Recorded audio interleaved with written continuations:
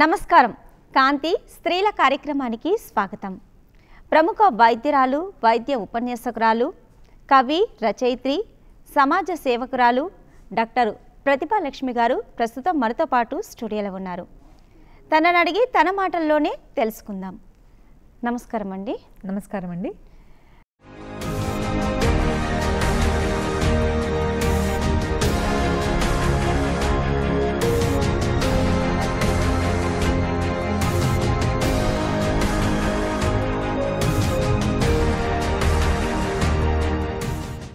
ప్రతిభా లక్ష్మి గారు మీరు పుట్టి పెరిగింది ఎక్కడ? మీ ఎడ్యుకేషన్ అంతా కూడా ఎక్కడ సాగింది?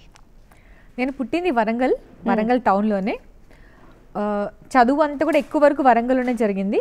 మా అమ్మ నాన్న ఇద్దరు కూడా ప్రభుత్వ ఉద్యోగులే. మా అమ్మ doctor B Vijayalakshmi ayurvedic doctor. మా ఫాదర్ కూడా గవర్నమెంట్ జాబే ఉండేది. అమ్మ నాన్నల ట్రాన్స్ఫర్స్ వల్ల ఎక్కువ వరకు స్కూలింగ్ అనేది చేంజ్ అవుతూ వచ్చింది. ఒక్క పర్టికులర్ స్కూల్లో జరగలేదండి నాది. తర్వాత ఇంటర్మీడియట్ కూడా వరంగల్ కా వరంగల్లోనే చేశాను. ఎంబీబీఎస్ కూడా వరంగల్ కాకతీయ మెడికల్ కాలేజ్లోనే చేశాను.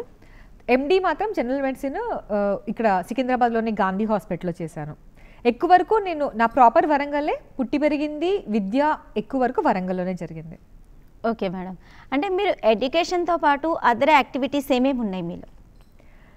నేను చిన్నప్పటి నుంచి కూడా అంత స్టూడియస్ ఎప్పుడు పుస్తకాల పురుగులాగా ఉండే టైప్ అయితే కాదండి. స్కూలింగ్లో కూడా స్కూల్లో కూడా నేను మా స్కూల్ లీడర్గా ఉండేది. మా క్లాస్ లీడర్గా ఉండేది. స్కూల్ రిప్రజెంట్ స్కూల్లో ఒక అంటే గ్రూప్స్ ఉంటే గ్రూప్ రిప్రజెంటేటివ్గా ఉండేది. స్కూలింగ్లో కూడా స్పోర్ట్స్లో చాలా యాక్టివ్గా ఉండేది. ఎంబీబీఎస్లో కూడా మా కాలేజ్లో జరిగే ప్రతి యాక్టివిటీస్ అంటే స్పోర్ట్స్లో లిటరరీలో ప్రతి యాక్టివిటీలో ఖచ్చితంగా పార్టిసిపేట్ చేసేదాన్ని. గెలవడం ఓడిపోవడం సంబంధం లేదు. పార్టిసిపేట్ అయితే చేయాలి.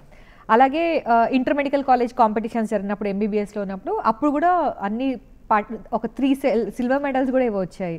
సో అంత స్టూడియస్ టైప్ అయితే కాదు ఎక్స్ట్రా అన్ని అన్నిట్లలో యాక్టివ్గా పార్టిసిపేట్ చేసేదాన్ని అంత. ఓకేనండి. మీరు ఒక డాక్టర్ ఒక డాక్టర్ అయి ఉండి కూడా మీరు సమాజానికి సేవ చేస్తున్నారు అలాగే రచయిత్రి కూడా కవితలు కూడా రాస్తూ ఉంటారు. ఇవన్నీ కూడా మీకు సమయం ఎలా దొరుకుతుంది? ఉండేది అందరికీ ట్వంటీ ఫోర్ అవర్సే కదా. అదే అండి ఉండేది అందరికీ ట్వంటీ ఫోర్ అవర్సే. మన ప్రయారిటీస్ మీద ఆధారపడి ఉంటుంది. అంటే మనకు ఏది ఎక్కువ ఇంపార్టెంట్ అనిపిస్తుంది అని దాన్ని కొంతమంది ట్వంటీ ఫోర్ అవర్సే ట్వంటీ ఫోర్ అవర్స్ ఏం చేయకుండా ఓన్లీ ఇంట్లో పనులు చేస్తూనే అలసిపోయే వాళ్ళు ఉంటారు. ఒక్కొక్కరి ఇంట్రెస్ట్ ఒక్కొక్కలాగా అంతే. నాకు బేసికలీ నాకు చాలా నేను ఎంజాయ్ చేస్తాను నేను చేసే ప్రతిదీ నేను ఎంజాయ్ చేస్తాను అంటే నేను రైటింగ్స్ నేను ఎంజాయ్ చేస్తాను. సోషల్ యాక్టివిటీస్ నేను ఎంజాయ్ చేస్తాను. నా వల్ల ఎదుటి వాళ్ళు సంతోషపడడం అనేది నాకు చాలా ఎక్కువ కిక్నిస్తుంది సో దాని ఆ ఎంజాయ్మెంట్ వల్లనే నాకు దేనికోసమైనా టైం మనసు ఉంటే మార్గం ఉంటుంది అంతే. నాకు ఇంట్రెస్ట్ ఉంది కాబట్టి నాకు అన్నిటికీ టైం సరిపోతుంది. ఓకే అంటే మ్యారేజ్కి before family support after marriage మీ హస్బెండ్ సపోర్ట్ అనేది ఎలా ఉంది మీకు? నాకు మ్యారేజ్కి బిఫోర్ మ్యారేజ్ తర్వాత ఎప్పుడు కూడా నాకు ఫ్యామిలీ సపోర్ట్ చాలా ఉందండి. దట్ ఈస్ ద రీజన్ నేను నేను- నేను ఏది చేయడానికైనా నాకు మెయిన్ రీజన్ uh, అదే. మా మదర్ నన్ను అంటే అదర్ దెన్ ఎడ్యుకేషన్ నాకు మ్యారేజ్కి ముందు అనేది పెద్దగా ఏం లేదండి. మ్యారేజ్కి ముందు అంతా డాక్టర్స్ లైఫ్ అంటే తెలుసు కదండి. మొత్తం చదువుతూనే గడిచిపోతుంది. కాలేజ్లో స్కూల్లో స్పోర్ట్స్ వరకు ఓకే. కానీ అదర్ దెన్ ఎడ్యుకేషన్ వైజ్ మ్యారేజ్కి బిఫోర్ నేను దే దేనికి నాకు ఎక్కువ నాకు అవకాశం కూడా దొరకలేదు. మ్యారేజ్ అయినాక మాత్రం ఎస్ నేను మిగతా అన్నిటికి కూడా మా హస్బెండ్ సపోర్ట్ నాకు చాలా ఉంది. ఇన్ఫ్యాక్ట్ ఐ నా I should be very thankful నా పిల్లల గురించి కూడా. ఎందుకంటే వాళ్ళు కూడా నాకు చాలా సపోర్ట్ చేసా చేస్తూ ఉన్నారు. ఇప్పటికి కూడా నా పే మా నా పేరెంట్సే నాకు మెయిన్ స్ట్రెంగ్త్ నా పిల్లలతో పాటు నేను ఇవన్నీ బ్యాలెన్స్ చేయగలుగుతున్నానంటే మా పేరెంట్స్ నాకు పెద్ద సపోర్ట్గా ఉండడం వల్లనే పిల్లల్ని అవసరమైనప్పుడల్లా వాళ్ళ దగ్గర వదిలి నేను వెళ్ళగలగడం వల్లనే నాకు నేను ఏమైనా ఇప్పుడు చేయగలుగుతున్నాను. మా హస్బెండ్ సపోర్ట్ కూడా చాలా ఉందండి. ఇన్ఫ్యాక్ట్ పర్టికులర్ ఇప్పుడు మేము స్టార్ట్ చేసిన మేము ఒక ఎన్జిఓ స్టార్ట్ చేసాము అది మెయిన్గా తన ఎంకరేజ్మెంట్ వల్లనే స్టార్ట్ చేసినామని చెప్పాలి. ఓకేనండి. ఎప్పుడైనా మేము అంటే మీకు పిల్లల్ని మిస్ అవుతున్నాను అన్న ఫీలింగ్ వచ్చేస్తుందా మీకు? అంటే మీరు ఎప్పుడు బిజీగా ఉంటారు కాబట్టి. అలా ఏం లేదండి. ఎంత సమయం పిల్లలతో గడుపుతున్నాం అనే దానికన్నా దాన్ని ఎంత ఎఫెక్టివ్గా యూస్ చేస్తున్నాం అనేది ఎక్కువ ఇంపాక్ట్ ఉంటుందనేది నా ఫీలింగ్ నేను ఇంట్లో ఉన్నంతసేపు పిల్లలతో వీలైనంత వరకు వాళ్ళతో ఆడుకుంటూ లేకపోతే వాళ్ళని ఎంగేజ్ చేసి ఏదో ఒక రకంగా వాళ్ళ వాళ్ళతో సరదాగా గడపడానికి ట్రై చేస్తాను సో అంత అంటే బేసికలీ నేను ఎక్కువ ఎనర్జీతో ఉంటాను కాబట్టి పిల్లలతో ఉన్నంతసేపు అయితే నేను ఎఫెక్టివ్గా ఉంటాను. సో మిస్ అవుతారు ఖచ్చితంగా వాళ్ళు కానీ నేను వీలైనంత వరకు ఆ మిస్సింగ్ని తగ్గించడానికి ప్రయత్నం చేస్తుంటాను రైట్ అండి. మీరు సోషల్ యాక్టివిస్ట్ అవ్వడానికి ప్రేరణ ఎవరు? నేను బేసికలీ మా అమ్మగారు నాకు నేర్పించారండి. అంటే హెల్పింగ్ అనేది బాగా అలవా చూ చూస్తూ పెరిగాను నేను. అంటే ఫ్రీగా మెడికల్ క్యాంప్స్ కండక్ట్ చేయడము తర్వాత ఎవరికైనా ఏదైనా ఇవ్వడంలో ఉండే ఆనందం ఏంటి అనేది నేను మా అమ్మగారి దగ్గర నేర్చుకున్నాను. సో నేను మామూలుగా ఇప్పుడు ఎప్పుడు కూడా ఏ- ఏదైనా సోషల్ యాక్టివిస్ట్ అనేది ఇప్పుడు రెండు రకాలండి. ఒకటి ఏంటి అని అంటే నేను ఇప్పుడు ఫర్ ఎగ్జాంపుల్ మా స్కూల్లో ఉన్నప్పుడు కానీ చెప్ప మా స్కూల్లో నేను లీడర్గా ఉండేది. కాలేజ్లో నేనే మా క్లాస్ రిప్రజెంటేటివ్ లేడీస్ రిప్రజెంటేటివ్గా ఉండేది. ఏదైనా ఇష్యూ ఉంటే దాని గురించి వాయిస్ రేస్ చేయడం అనేది నాకు స్వతహాగా మరి వరంగల్ ముద్దు బిడ్డను కాబట్టో ఏమో తెలియదు కానీ నాకు అది నా నేచర్. ఎక్కడైనా ఎవరైనా సమస్యలో ఉన్నారంటే వాళ్ళు ప్రతిభను గుర్తు చేసుకోవాలి. అలా నాకు అనిపిస్తుంటుంది అంటే అది మధ్యలో కాకుండా మీకు చిన్నప్పటి నుండే వచ్చేసింది అనమాట చిన్నప్పటి నుంచి నాకు ఇట్లా లీడర్షిప్ క్వాలిటీస్ అనేది అలవాటు. సో తెలంగాణ ఉద్యమం అప్పుడు చాలా యాక్టివ్గా ఇన్వాల్వ్ అయ్యాము. అంటే తెలంగాణ ఉద్యమం అప్పుడు ఒక సిచ్యువేషన్లో ఎలా అనుకునే అనుకున్నామంటే ఇంట్లో ముగ్గురము ప్రభుత్వ ఉద్యోగులం ఉన్నాము ముగ్గురం రిజైన్ చేద్దాము జాబ్ అప్పుడు ఒకటే కుటుంబం నుంచి ముగ్గురు ప్రభుత్వ ఉద్యోగులు రిజైన్ చేశారు అనేది సపరేట్ తెలంగాణ సపరేట్ ఉద్యమం. కోసం అట్లా అట్లా దాని ఇంపాక్ట్ ఏమైనా ఉంటుందేమో అని అలా అలా కూడా అనుకున్న సిచ్యువేషన్ ఉంది. అప్పుడు యాక్టివ్గా ర్యాలీస్ ఎక్కడున్నా రిలే నిరాహార దీక్షలు ఎక్కడున్నా అన్నిట్లో యాక్టివ్గా పార్టిసిపేట్ చేసేది. సో అట్లా సోషల్ యాక్టివిస్ట్ అనేది ఇప్పుడు ఇప్పుడు మేము మెడికోస్ జూనియర్ డాక్టర్స్ జూనియర్ డాక్టర్గా ఉన్నప్పుడు జూనియర్ డాక్టర్ స్ట్రైక్స్లో యాక్టివ్గా పార్టిసిపేట్ చేశాను. గవర్నమెంట్ జాబ్లోకి వచ్చినాక గవర్నమెంట్ డాక్టర్స్ అసోసియేషన్ ఏ స్ట్రైక్కి పిలుపునిచ్చినా కూడా నేను ఏదైనా ఒక ఇష్యూ బేస్డ్ అంటే ఇప్పుడు ఇది ప్రాబ్లం ఉంది దాని గురించి వాయిస్ రేస్ చేయాలంటే నేను ఎప్పుడు ముందే ఉంటాను. అదంతా ఒకటి. సో అది కాకుండా ఇప్పుడు అలా కాదు అంటే మనకు సమస్య వచ్చినప్పుడు మనం ఫైట్ చేయడం అనేది ఒక యాంగిల్ వేరే వాళ్ళ సమస్యల కోసం కూడా ఫైట్ చేయాలి అనే ఒక ఉద్దేశంతో ఇప్పుడు ఇప్పుడు సోషల్ వర్కర్ లాగా ఒక ఎన్జిఓని స్థాపించి మహిళా అభ్యున్నతి కోసం మహిళా సాధికారత కోసం పాటుపడదామని ఇప్పుడు ప్రయత్నిస్తున్నాను. మీరు అంటున్నారు ఇందాక ఒక సంస్థను స్థాపించాను అని. అదే వీ ఫర్ ఉమెన్ అనే సంస్థను స్థాపించారు. ఎందుకు అది స్థాపించాలి అనుకున్నారు? ప్రపంచ జనాభాలో యాభై శాతం ఉన్న ఆడవాళ్ళు అభివృద్ధి చెందితే అంటే మహిళా సాధికారత జరిగితే ప్రపంచం కూడా అభివృద్ధి చెందినట్టే కదండి. ఫిఫ్టీ పర్సెంట్ ఎప్పుడైనా మనము అంటే వీకర్ గ్రూప్ వాళ్ళని అప్లిఫ్ట్ చేయడానికి ట్రై చేస్తాం. సింపుల్గా వీకర్ అండ్ స్ట్రాంగర్ అని సింపుల్ క్లాసిఫై చేయాలి అని అనుకున్నప్పుడు స్త్రీలు పురుషులను ఈజీగా క్లాసిఫై చేయొచ్చు. మ- మహిళలు ఎక్కువ అణచివేతకు గురైతున్న గురైతున్న వ్యక్తులు. సో వాళ్ళను అప్లిఫ్ట్ చేయడానికి వాళ్ళ అభివృద్ధి కోసం అభ్యున్నతి కోసం మహిళా సాధికారత కోసం ఒకవేళ మనం ప్రయత్నిస్తే ఆటోమేటిక్గా అది దేశాభివృద్ధి అవుతుంది అనే కాన్సెప్ట్తోని మనము సిటీస్లో ఉంటున్న వాళ్ళము ఒక ఇరవై శాతమేనండి. మనం వీళ్ళని మాత్రమే చూసి మహిళలు చాలా గ్రే హ్యాపీగా బ్రతుకుతున్నారు అని అనుకుంటే తప్పు. విలేజెస్లో ఇప్పటికి కూడా అన్ని రకాల అణిచివేతకు గురవుతున్నారు. సో వాళ్ళకు సపోర్ట్ చేయాలనే ఉద్దేశంతో విద్య వైద్యం ఈ రెండు సరిగ్గా అంది. ఆడవాళ్ళకు కూడా సమాన అవకాశాలు కల్పించగలిగినప్పుడు మహిళా సాధికారత అనేది సాధ్యమవుతుంది అనే కాన్సెప్ట్తోని నాలాంటి కొంతమంది లైక్ మైండెడ్ టీం ఉన్నారు. ప్రతి ఒక్కరు చాలా ఎనర్జీతోనే చాలా ఇంట్రెస్ట్తోనే ఇన్వాల్వ్మెంట్తోని మా కలిసి వస్తారు. సో లాస్ట్ డిసెంబర్లోనే స్టార్ట్ చేసామండి ఇంత షార్ట్ టైంలోనే మాకైతే ఒక రకమైన తృప్తి ఉంది. కొంతమందికైనా సహాయం చేయగలిగామనే ఒక తృప్తి ఉంది.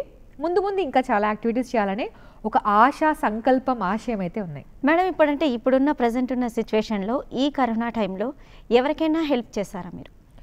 కరోనా టైంలో అంటే ఫ్రీ మెడికల్ క్యాంప్స్ చేసాము తర్వాత యాక్చువల్లీ మేము స్టార్ట్ చేసింది ఇట్లా ఇట్లా అంటే వాళ్ళకి ఆర్థికంగా కానీ వేరే రకంగా సహాయం చేయాలనే ఉద్దేశంతో స్టార్ట్ చేయలేదు. మేము ఏంటంటే అవేర్నెస్ ఎడ్యుకేషన్ హెల్త్ అనే కాన్సెప్ట్తో స్టార్ట్ చేసాము కానీ కొన్ని సందర్భాలలో ఈ లాస్ట్ వన్ ఇయర్ ఈ క్రైసిస్ సిచ్యువేషన్ కాబట్టి కొన్ని స్లమ్ ఏరియాస్కి వెళ్ళేసి వాళ్ళకు గ్రాసరీస్ పంచడము. తర్వాత ఫ్రీ మెడికల్ క్యాంప్స్ కండక్ట్ చేయడము. తర్వాత చాలామంది ఆడపిల్లలు ఈ కోవిడ్ వల్ల వాళ్ళ ఫ్యామిలీ మెంబర్స్ ప్రెషర్తోని ఎడ్యుకేషన్ ఆపే పరిస్థితులు నెలకొన్నాయి. అలాంటి వాళ్ళకు ఒక పది మంది పైగా మేము వాళ్ళకి ఆర్థిక సహాయం కూడా చేయగల చేయించగలిగాం. ఇన్ఫ్యాక్ట్ మేము కాదు కానీ మా మీద నమ్మకంతోనే ఒక ఎన్జిఓ వాళ్ళు ముందుకొచ్చి ఆడపిల్లల ఎడ్యుకేషన్కి మనీ స్పాన్సర్ చేశారు. అలా ఒక పది మంది ఎడ్యుకేషన్కి మేము తోడ్పడగలిగాం అనేది కూడా మాకు చాలా ఒక గొప్ప విషయం లాగానే అనిపిస్తుంది. Okay madam. మీరు ఒక సమాజ సేవకురాలే కాకుండా కవి రచయిత్రి కూడా. ఇప్పటివరకే ఎన్ని కవితలు రాశారు ఎన్ని పబ్లిష్ అయ్యాయి? నేను నా ఫస్ట్ కవిత రాసింది ఆరో తరగతిలో. ఆరో తరగతిలో మా అమ్మ మీద రాశాను. ఒక పాటలాగా రాసి అంటే సమ్మర్ హాలిడేస్లో ఇంట్లో ఉన్నాము. అమ్మ కవిత అమ్మ మీద రాసి అమ్మ హాస్పిటల్ నుండి ఇంటికి వచ్చేసరికల్లా రెడీగా పాటలాగా రాసి పెట్టి రాగానే పాడి అమ్మని వెల్కమ్ చేయాలని ఒక ఎగ్జైట్మెంట్తో ఫస్ట్ రాశాం. తర్వాత ఎయిత్ క్లాస్లో ఒకటి స్కూల్ మ్యాగజైన్ కోసం రాశాను. తర్వాత నార్మల్గా కాలేజ్ డేస్లో ఏదో ఇట్లా ఫ్రెండ్షిప్ గురించి లవ్ గురించి అలా అమ్మ గురించి అలా ఫ్యామిలీ రిలేషన్స్ గురించి అలా అప్పుడప్పుడు రాస్తూ ఉండేదాన్ని. లాస్ట్ ఒక టూ త్రీ ఇయర్స్ తర్వాత తెలంగాణ ఉద్యమం అప్పుడు కూడా తర్వాత ఎవరైనా ఎప్పుడైనా గవర్నమెంట్ డాక్టర్స్ అసోసి ఏమైనా um, uh, ఫైట్స్ uh, లేకపోతే ఉద్యమాలు చేస్తున్నప్పుడు కూడా ఇష్యూ బేస్డ్గా రిలవెంట్గా ఏ సిచ్యువేషన్కి తగ్గట్టుగా ఆ సిచ్యువేషన్కి రాస్తూ ఉంటాను. కానీ రాయడము పబ్లిష్ చేయడం అనేది నాకు యాక్చువల్లీ లాస్ట్ టూ ఇయర్స్ ముందు వరకు కూడా అట్లాంటి ఆలోచన ఏం లేదు. ఈ మధ్య కాలంలో మనకు స్కోప్ కూడా పెరగడం వల్ల uh, కొన్ని వీక్లీస్కి పంపించడము అలా జరిగింది. ఒక ట్వంటీ కవితల వరకు ఇప్పటివరకు పబ్లిష్ అయ్యాయండి. స్టోరీస్ కూడా రాస్తాను. నాకు స్టోరీస్ ఇంకా ఎక్కువ ఇంట్రెస్ట్ యాక్చువల్లీ ఒకటి పితృదేవ భవ అనే స్టోరీ ఈనాడు సండే స్పెషల్లో కూడా పబ్లిష్ అయింది. కొన్ని చిన్న చిన్న వీక్లీస్లో స్టోరీస్ కూడా కొన్ని పబ్లిష్ అయ్యాయి. నేను కూడా కొన్ని స్టోరీస్ ఇంకా కవితలు కలిపి ఒక బుక్ బుక్ లాగా పబ్లిష్ చేశాను. ఆ, మొత్తం కలిపి ఒక ఫిఫ్టీ వరకు ఉండొచ్చండి అన్ని కవితలు కథలు అన్ని కలిపి. ఓకే. మీరు మహిళా పక్షపాతి కదండి. మహిళలకు సంబంధించి ఏదైనా కవిత రాశారా? ఆ, మహిళలకు సంబంధించి రాశాను. అమ్మకు సంబంధించి రాశాను. అంటే యాజ్ ఎ మదర్ అమ్మతనం గురించి రాశాను. యాజ్ ఎ డాటర్ అట్లా రాశాను. మహిళల గురించి మహిళా సాధికారత గురించి మహిళా దినోత్సవంకి రిలేటెడ్గా అట్లా ఏదైనా ఒక ఒక డే ఒక స్పెషాలిటీ ఉంటే దానికి సంబంధించి రిలేటెడ్గా రాస్తూ ఉంటాను. అయితే మా కోసం ఒక కవిత వినిపించవలసింది ఇప్పుడు. ఓ మహిళ జననం నుండి మరణం వరకు సాగే ఈ జీవన గమనంలో అడుగడుగున అసమానతల వలయాన్ని ఎదురీదుతూ ప్రతి అడుగులోనూ ఎదురు దెబ్బలను ధైర్యంగా ఎదురిస్తూ సాగు. నీ బేలతనంతో నువ్వొక అబలవనుకున్నావా? నీలోని శక్తిని తక్కువగా అంచనా వేశావా? రాణి రుద్రమదేవిగా నీ వీరత్వపు దిక్సూచివి కావా? నువ్వు వీరత్వపు దిక్సూచివి కావా? ఝాన్సీ లక్ష్మీబాయి పోరాట పటిమవని మరిచావా? రచనల్లో మొల్లవి గణితంలో శకుంతలాదేవివి సేవానిరతిలో మర్దర్ తెరిసావి నువ్వు కావా? మహాలక్ష్మివని ఆరాధించే ఈ లోకంలోనే లింగ వివక్షలు ఇంకా కనిపిస్తున్నాయి కదా? పురిటిలోనే చంపే దుర్మార్గులు కొందరైతే విద్య ఆహారం ఆహార్యం అన్నింటిలో వివక్ష చూపేవారు ఎందరో కదా. పసికందు నుంచి పండు ముదుసలి వరకు దినదినం జరిగే దుశ్శాసన కిరాతకాలు లెక్కలేయగలవా? పుట్టినింట ఆడపిల్లవని ఎల్లగొట్టే తల్లిదండ్రులు మెట్టినింట ఆడపిల్లవని అణిచివేసే అత్తమామలు. చిన్న వయసులో తండ్రి నీడన? యుక్త వయసులో భర్త జాడన? ముదిమిలోన పుత్రుడి చెంతనుండాలా? నీకంటూ ఒక వ్యక్తిత్వం లేదా? ఇన్నాళ్ళుగా ఈ లోకానికి నీదంటూ ఒక ఉనికి కనపడలేదా? ఎందుకమ్మా ఇంత సహనం నీకు? ఒక కూతురిగా ఒక సోదరిగా ఒకరికి అర్ధాంగిగా పిల్లలకు తల్లిగానే కాక ఒక ఉద్యోగినిగా రాణిస్తూ అంతరిక్షానికి ఎగరగలవని చూపి మౌంట్ ఎవరెస్ట్ని సైతం అధిరోహించి నీకు సా- సాధ్యం కానిది ఏదీ లేదని నిరూపించుకున్నావు. చదువులో ఇంత వివక్ష చూపించినా ఉత్తీర్ణతలో ముందే ముందే ఉండేవు. క్రీడల్లో ప్రోత్సాహం లేకున్నా పథకాలెన్నో సాధించి తెచ్చేవు. కుటుంబ భారం పెంచు పంచుకొని వారు కరువైనా అన్నీ నీవై సర్దుకుపోయేవు. అన్ని వృత్తుల్లోనూ రాణిస్తూ కూడా నీ ఉనికికై ఇంకా ఎంతో ఆరాటపడేవు. ఎదుగుతున్న నీవు ఎదుటివారి జీవితాలకు ఒక ఆశనివ్వు. అభాగ్యుల బ్రతుకుల్లో వెలుగు నింపే జ్యోతినివ్వు. నీ తోటి వారిని నీ అడుగుజాడలు నడవనివ్వు. చేయుతకై ఎదురుచూసే అమాయకులకు స్వాభిమానంతో బ్రతికే స్ఫూర్తినివ్వు. మహిళా సాధికారతకు నువ్వొక పునాదివవ్వు. ఓ మహిళ మేలుకో. బాగుందండి. చాలా బాగా చెప్పారు కవితను. మీరు ఇందాక నేను ఒక మాట అడిగాను. మహిళా పక్షపాతి మీరు అని. దానికి ఇంకా ఆన్సరే చెప్పలేదు మీరు అసలు. ఫెమినిస్ట్ అంటే మహిళా పక్షపాతి మహిళలు మాత్రమే ఉండాలని లేదండి. ఏ అంటే ఇప్పుడు ఈక్వల్ రైట్స్ కోసం ఫైట్ చేస్తున్నాను నేను అంతే. అంటే ఇప్పుడు ఒక రేస్ స్టార్ట్ అయింది. ఇద్దరు ఈక్వల్గా స్టార్ట్ చేస్తుంటే ఇద్దరికి ఈక్వల్ రైట్సే ఉండాలి. కానీ ఆల్రెడీ మహిళలు వెనక వెనక వెనక ఉన్నారు. సో వాళ్ళు వీళ్ళతో ఈక్వల్గా పోటీ పడాలన్నప్పుడు వీళ్ళకి ఖచ్చితంగా కొంచెం సపోర్ట్ అవసరం అవుతుంది. మహిళా పక్ష ఇప్పుడు తల్లికి పిల్లలలో వీకర్ చైల్డ్ మీదనే ప్రేమ ఎక్కువ ఉంటుంది అంటారు. అట్లాగే ఇప్పుడు సమాజంలో వీకర్ గ్రూప్ అంటే మహిళలే కాబట్టి నేను మహిళా పక్షపాతిని అని మీరు అనుకున్నా నాకు ఎటువంటి అభ్యంతరం లేదు. మహిళా సాధికారత కోసం పాటుపడడం అనేది నా ధ్యేయం అంతే. ఓకేనండి మహిళలకు మీరిచ్చే మెసేజ్ ఏంటి? ఇప్పుడు నేను చెప్పిన కవితలో ఉన్నది ముఖ్యంగా అదే మహిళలు తమను తాము వీక్ అని అనుకోకూడదు. శారీరకంగా అబలల అయినప్పటికీ కూడా మానసికంగా చాలా బలవంతులు. సో ఒకరికొకరు సపోర్ట్ చేసుకుంటూ మహిళలే మహిళలకు శత్రువుల్లాగా ఉండకుండా వాళ్ళ విద్య వాళ్ళ ఆరోగ్యం ఈ రెండు కనుక రెండిట్లో రెండు విషయాల్లో కనుక మహిళలను ఎంకరేజ్ చేయగలిగితే మిరాకల్స్ చేయగలుగుతారు. అది పదే పదే మనకు తెల్ మనకు చెప్ తెలుస్తూనే ఉంది. ఇంకో ఏంటంటే ఇప్పుడు ముఖ్యంగా ఇప్పుడు మ- అణిచివేతను యాక్సెప్ట్ చేస్తున్నారు మహిళలు. అంటే వేరే వాళ్ళు అణిచివేస్తున్నప్పుడు దాన్ని అది అది సహజంగా భావించి దాన్ని టాలరేట్ చేస్తున్నారు సహిస్తున్నారు. ఆ సహనానికి వాల్యూ లేదు అర్థం లేదు. ఎప్పుడైనా ఎక్కడైనా అన్యాయం జరుగుతుంది అంటే మిమ్మల్ని ఎవరైనా అణచివేస్తున్నారు అన్నప్పుడు మీ వాయిస్ రేస్ చేయండి. ఇప్పుడు ఫర్ ఎగ్జాంపుల్ బస్సెస్లో ఆటోస్లో వెళ్తున్నారు. ఎవరైనా మిస్బిహేవ్ చేస్తున్నారు. మిస్బిహేవ్ చేస్తుంటే ఇంకా భయపడుతూ ఇంకా ముడుచుకొని ఉన్నంత కాలము వా నీ భయమే ఎదుటి వాళ్ళకు బలాన్ని ఇస్తుంది.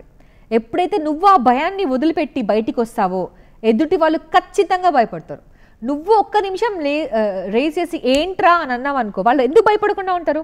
అలాగే కాదు ఇంట్లో అయినా సరే ఎక్కడైనా సరే ఏ సిచ్యువేషన్లో అయినా సరే నీ భయమే ఎదుటి వాళ్ళకి బలాన్ని ఇస్తుంది.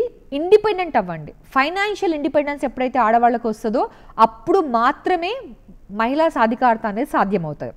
సో నీ ఇప్పుడు ఎంతోమంది డాక్టర్స్ కూడా నాకు తెలిసిన వాళ్ళు అంత చదువు చదువుకొని కూడా ఫ్యామిలీలో అంటే పిల్లల గురించి లేకపోతే డిఫరెంట్ వేరే డిఫరెంట్ రీజన్స్తోని ఇంట్లోనే ఉంటూ వాళ్ళ ప్రొఫెషన్ని పెద్దగా ఎంకరేజ్ చేయకుండా ఉంటున్న వాళ్ళు కూడా ఉన్నారు.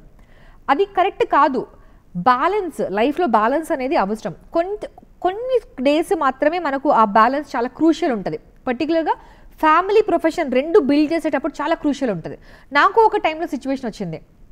నీకు ప్రొఫెషనా ఫ్యామిలీలా అనే సిచ్యువేషన్ వచ్చింది నాకు. నీకు ప్రొఫెషన్ ఇంపార్టెంట్ అనుకుంటే ఫ్యామిలీని డిలే చేయి. ఫ్యామిలీ ఇంపార్టెంట్ అనుకుంటే ప్రొఫెషన్ డిలే చేయని.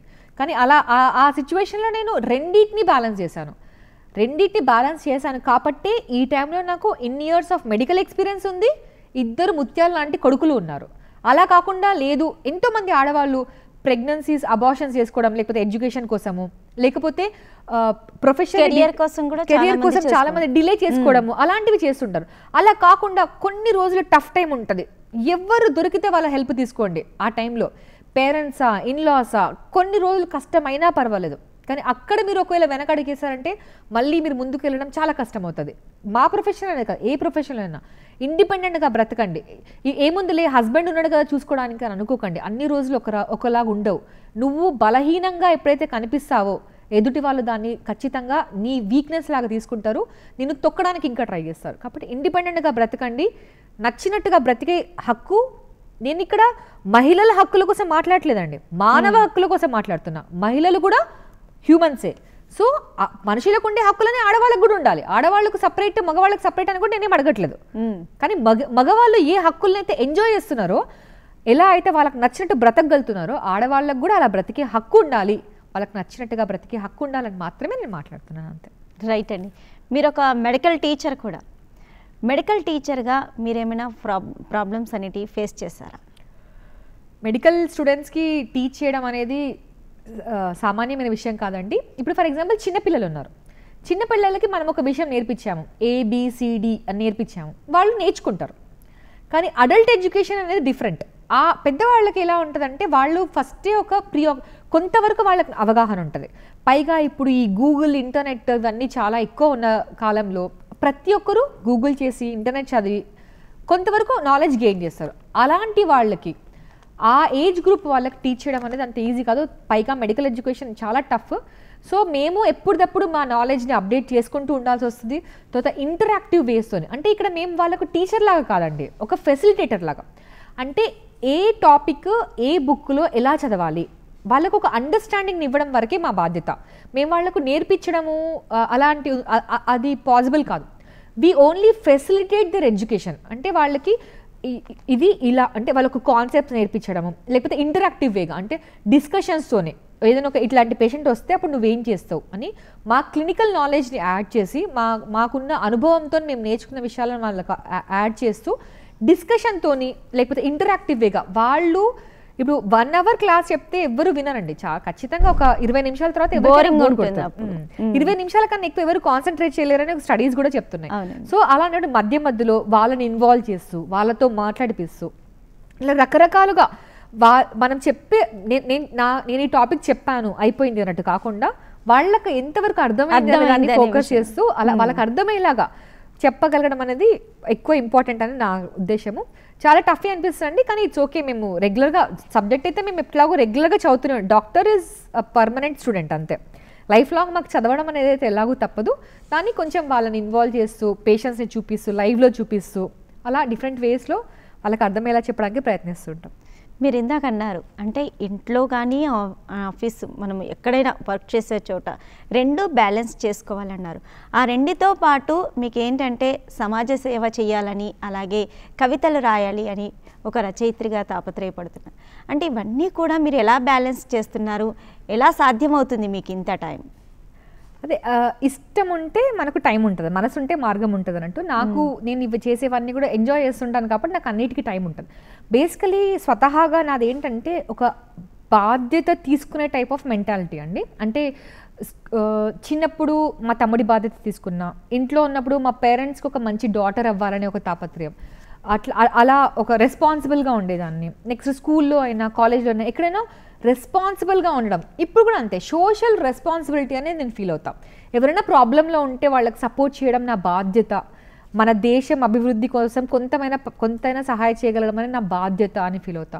పేషెంట్స్ ఎవరైనా ఇప్పుడు ఒక డాక్టర్గా పేషెంట్స్ ఎవరైనా కనిపిస్తే వాళ్ళకి ఏదో ఒక రకంగా ట్రీ చికిత్సను అందించగలగడం నా బాధ్యత అని ఫీల్ అవుతా. ఎవరైనా ఏదైనా బాధలో ఉంటే వాళ్ళ బాధ తగ్గించడం నా బాధ్యత. అట్లా I feel responsible for the society in which I'm living so దాంతో నాకు ఐ విల్ ఆటోమేటిక్ నాకు టైం ఆటోమేటిక్గా దొరుకుతుంది అంతే ఓకే. మీ దగ్గరకు వచ్చే పేషెంట్లకి మీరు ఒక గవర్నమెంట్ డాక్టర్ మీ దగ్గరకు వచ్చే పేషెంట్స్కి ఓన్లీ ట్రీట్మెంట్ ఇచ్చే పంపిస్తారా? కౌన్సిలింగ్ కూడా ఇస్తుంటారా? నేను పదే పదే చెప్తుంటానండి. నేను చెప్పడమే కాదు మా స్టూడెంట్స్కి కూడా చెప్తుంటా. నీ- ప్రిస్క్రిప్షన్ ఎప్పుడు కూడా డైట్ ఇంకా లైఫ్ స్టైల్ మాడిఫికేషన్ గురించి చెప్పకుండా అది కంప్లీట్ అవ్వదు అని చెప్తుంటా. ఎవరైనా ఒక పేషెంట్ వచ్చినప్పుడు అంటే కామన్ ప్రాబ్లమ్స్ దగ్గర నుంచి పెద్ద ప్రాబ్లమ్స్ సార్. ఇప్పుడు ఫర్ ఎగ్జాంపుల్ షుగర్ పేషెంట్ వచ్చారు. మందులు రాసి పంపించడం అనేది వేస్ట్ అది వాళ్ళ పుస్తకంలో చదువుకొని లేకపోతే గూగుల్ చేసుకున్నా కూడా తెలుస్తుంది అది కాదు. ఏంటంటే వాళ్ళకు డైట్ ఎలా డైటరీ అడ్వైజ్ అంటే ఎప్పుడు ఏది ఎలా ఎంత తినాలి అనేది చెప్పగలగడము. తర్వాత వాళ్ళకు లైఫ్ స్టైల్ మోడిఫికేషన్ అంటే డైలీ ఎక్సర్సైజ్ చేయడం యొక్క ఇంపార్టెన్స్ వెయిట్ రిడక్షన్ యొక్క ఇంపార్టెన్స్ టైమ్లీ ఫుడ్ యొక్క ఇంపార్టెన్స్ అలాంటివి డైట్ ఇంకా లైఫ్ స్టైల్ మోడిఫికేషన్ గురించి చెప్పకుండా ఒకవేళ ఒక పేషెంట్ని పంపిస్తే తప్పు అని నా అని నేను చెప్తుంటా. ఇప్పుడు ఎవరైనా మోషన్స్తో వచ్చారనుకోండి ఇవి తినండి ఇవి తినకండి. అట్లా ప్రతి ఒక్కరికి కూడా ఎందుకంటే ఇప్పుడు హెల్త్ అనేది హెల్త్ అనేది మనకు లైఫ్ లాంగ్ ప్రాబ్ ఇష్యూ అండి. ఇప్పుడు ఇంకొకటి ఏంటంటే సిమ్టమ్స్ని తగ్గించకూడదు. ఆ సిమ్టమ్స్ యొక్క కారణం ఏంటో దాన్ని తగ్గించాలనేది కూడా నేను ఎప్పుడు మా స్టూడెంట్స్కి చెప్తుంటాను. అంటే ఇప్పుడు ఇది తగ్గించానా? ఇప్పుడు నేను మంత్రం వేసి పంపించినట్టుగా మందులు రాసి పంపించాను అన్నట్టు కాకుండా వాళ్ళకి లైఫ్ లాంగ్ ఇప్పుడు నేను టీచింగ్కి రావడానికి కూడా ఒక మెయిన్ రీజన్ అదేనండి. ఎందుకంటే ఒక పేషెంట్ని నేను ట్రీట్ చేస్తే ఒక్కరికి లాభం అవుతుంది.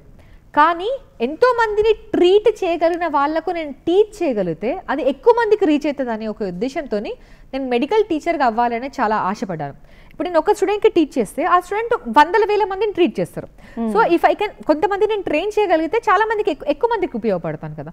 అట్లానే ఇప్పుడు పేషెంట్ నా దగ్గరకు వచ్చే పేషెంట్ కూడా అంతే. వాళ్ళకి చెప్తా చూడమ్మా నువ్వు నువ్వు ఇలా ఇలా పాటించు వేరే వాళ్ళకు కూడా చెప్పు.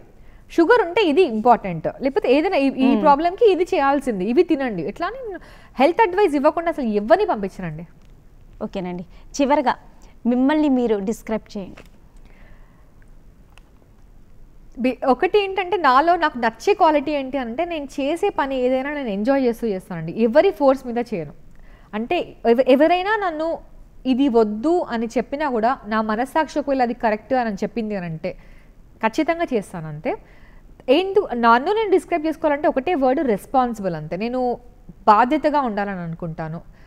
ప్రతి ఒక్కరి పట్ల నా పిల్లల పట్ల నా కుటుంబం పట్ల నా విద్యార్థుల పట్ల నా దగ్గరకు వచ్చే పేషెంట్స్ పట్ల నేను బ్రతుకుతున్న సమాజం పట్ల ప్రతి ఒక్కరి పట్ల బాధ్యతగా ఉండాలనుకుంటాను. నాకు తెలిసింది పక్ వేరే వాళ్ళకు చెప్పాలి అనే అనే తపన ఏదైనా అన్యాయం జరుగుతుంటే దాన్ని ప్రశ్నించే వ్యక్తిత్వ మనస్తత్వం అనేది నాకు స్వతహాగా ఉంది. బేసికలీ రైటర్ అవ్వడానికి కూడా ఒక రీజన్ ఏంటి అని అంటే ఇట్లానే. ఏంటంటే ఎప్పుడైనా రచనలు కవితలు ఎక్కువ మందికి రీచ్ అవుతాయండి. ఇప్పుడు ఫర్ ఎగ్జాంపుల్ దేశమును ప్రేమించుమన్నా మంచి అన్నది పెంచుమన్నా వట్టి మాటలు కట్టి పెట్టో గట్టి మీద అలాంటి ఆ లేకపోతే మన దేశభక్తి గీతాలు ఏవైనా సరే అవి ఎంత చాలా ఎక్కువ మందికి రీచ్ అవ్వగలిగాయి. ఎందుకు అంటే అవి అవి కవితల్లో ఉండే కవితల్లో ఉండే గొప్పతనం అది. సో అందుకని మనుషుల్లో ప్రేరణ రావాలంటే రైటింగ్స్ నుంచి బాగా వస్తుందనే ఒక ఫీలింగ్ వల్లనే నేను రైటర్ కూడా కూడా అయ్యాను. సో ఒక రెస్పాన్సిబుల్ హ్యూమన్ బీయింగ్ ఒక ఒక మనిషిగా బాధ్యతగా ఉండే ఒక వ్యక్తిని చెప్పగలుగుతా నా గురించి చెప్పాలంటే. రైట్ అండి డాక్టర్ ప్రతిభలక్ష్మి గారు అంటే ఒక మహిళగా అంటే మీరు ఎలా ఉండాలి అనేది విషయాలు చాలా విషయాలు కూడా చాలామంది మహిళలకు మంచి మెసేజ్ ఇచ్చారండి. మీరు మా స్టూడియోకి వచ్చినందుకు మీ వాల్యుబుల్ టైం మాతో స్పెండ్ చేసినందుకు థ్యాంక్ యూ సో మచ్ అండి. థ్యాంక్ యూ అండి. ఇది ఇవాల్టి కాంతి స్త్రీల కార్యక్రమం. మరో ఎపిసోడ్తో వచ్చే వారం మళ్ళీ కలుద్దాం. అంతవరకు సెలవు. Namaste.